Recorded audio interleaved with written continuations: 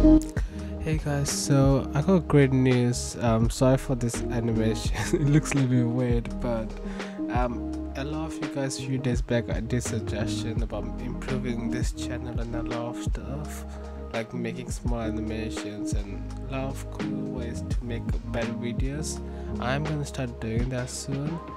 We're going to giveaways every five or seven days as well. So every week we're gonna try to do at least one giveaway so this way you guys also be happy.